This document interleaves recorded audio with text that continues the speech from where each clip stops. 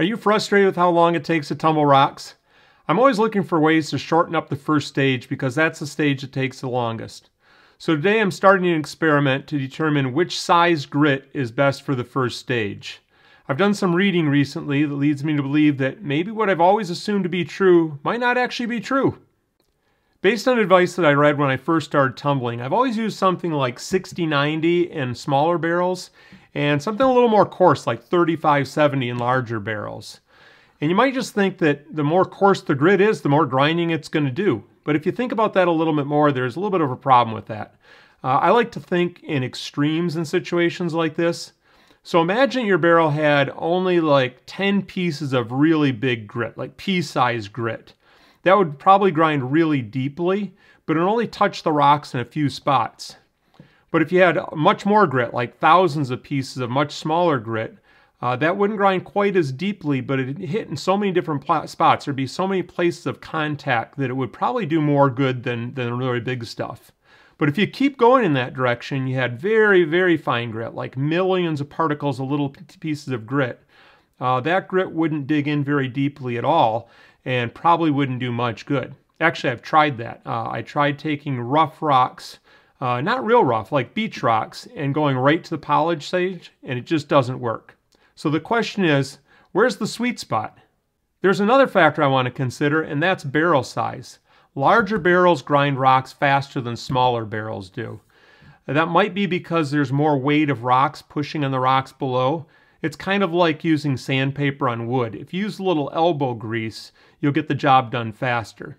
So since the big barrels use more elbow grease than the small barrels, I'm going to start this experiment with these six pound barrels. And when I'm done, I'm going to redo it using three pound barrels to see if that makes a difference. Let's take a look at the rocks that I'll be using in this experiment. This is red jasper from India, and this is fancy jasper, which is also from India, although I got all these rocks from the rock shed. Uh, these are seven on the Mohs scale of mineral hardness which is pretty typical for most rocks that people tumble. Uh, agates and jaspers are considered some of the best rocks for tumbling, and they're seven on the Mohs scale. I've already tumbled these for a week, and the reason I did that is because when you first get these rocks, and they're, they're all broken like this, these sharp edges can sometimes chip off and leave little flakes behind in the tumbler, and I didn't want that to happen and mess up the results of the experiment. It's impossible to tumble the exact same rocks in each barrel, but I tried my best to make each load as similar as possible. Each barrel has 44 fancy jaspers and 47 red jaspers. The total weight of the rocks in each barrel is very close, and I even weighed each individual rock so that each barrel has rocks that weigh the same amount. So for example, each barrel has a 29 gram fancy jasper, and each barrel has a 28 gram red jasper.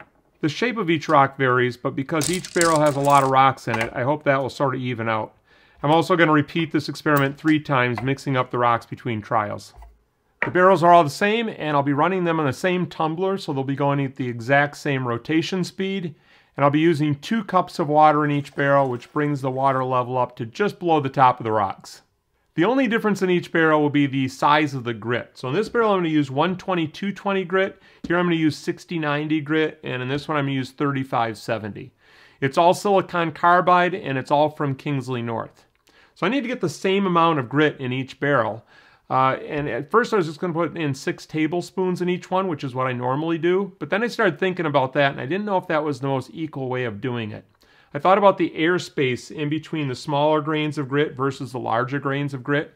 So I weighed a tablespoon of each one and I found there was a couple grams difference between each one.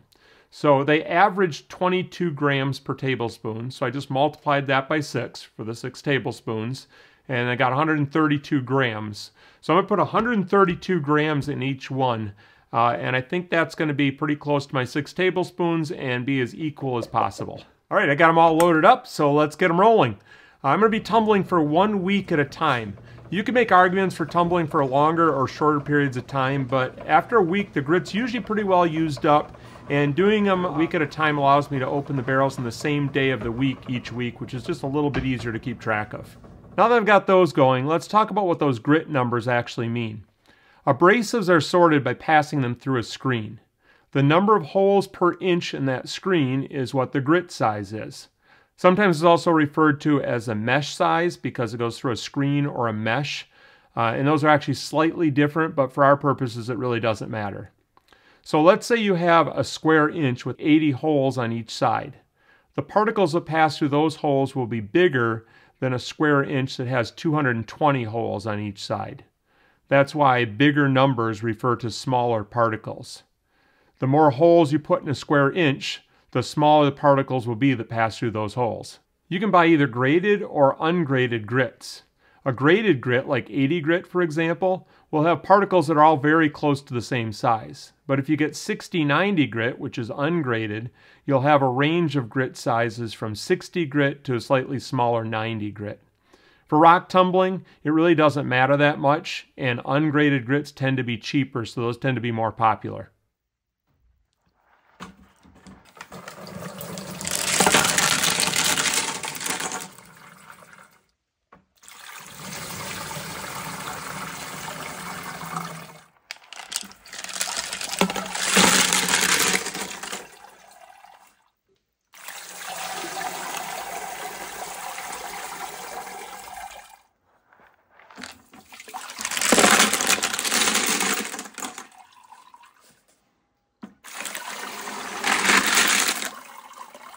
First week's results are in.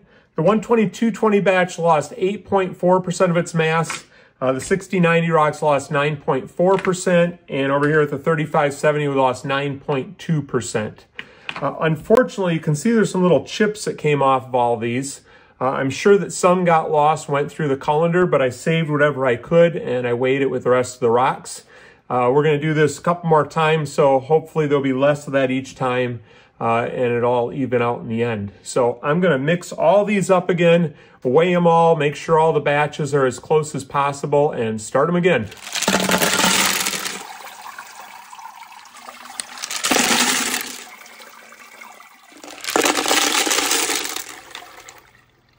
The second week's done, and you can see we still got some little chips coming off of these. Not maybe quite as many as last time, but uh, still a significant amount. Uh, I'm still weighing them with the rest of the rocks, and I'm weighing all these rocks dry. I don't think I mentioned that before, so they're, they're weighed dry before and after. So this week, uh, the 122-20 batch uh, lost 8.7% of its mass. The 6090 lost 9.1%, and the 3570 lost 9%. I'm surprised both times the 6090s come out ahead. I thought maybe last week was a fluke. I'm also surprised how close these two are. Um, it really doesn't seem like it makes a whole lot of difference. Uh, the 12220 is definitely different, but these are really close. So I'm going to throw these all back in for one more week.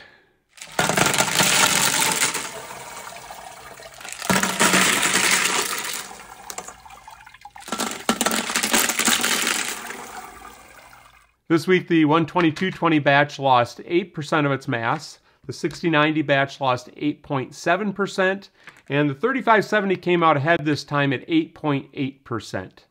So if you put the data together for all three batches, uh, the 12220 came out the worst at 8.4%. The 6090 came out the best at 9.1%, and the 3570 came out right close behind at 9%.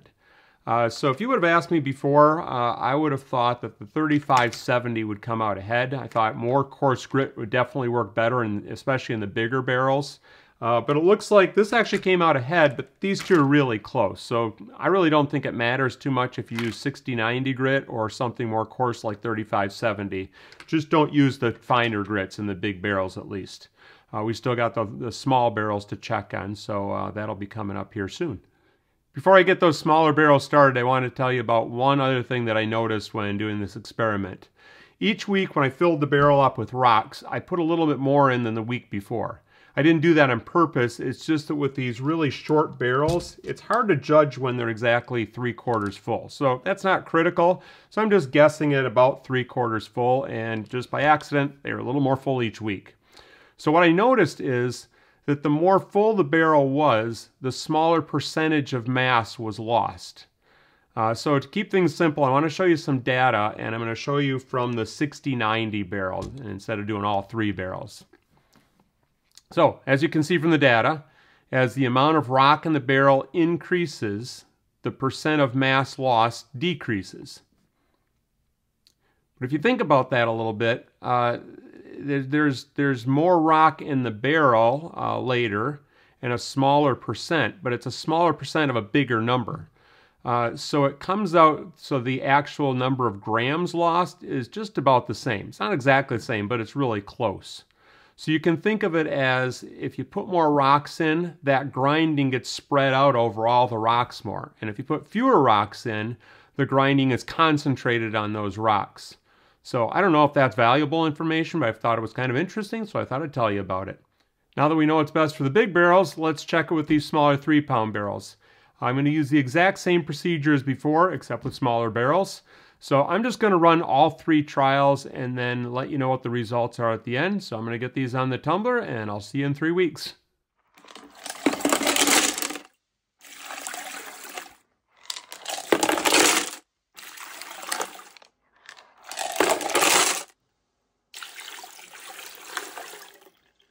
I just emptied the three barrels for the third time and weighed all the rocks.